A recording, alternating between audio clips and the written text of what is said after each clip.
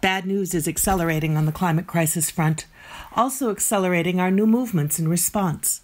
The Sunrise Movement here in the US, the global student strike movement started by Swedish Greta Thunberg, Extinction Rebellion, which started in the UK in October 2018 and is already worldwide.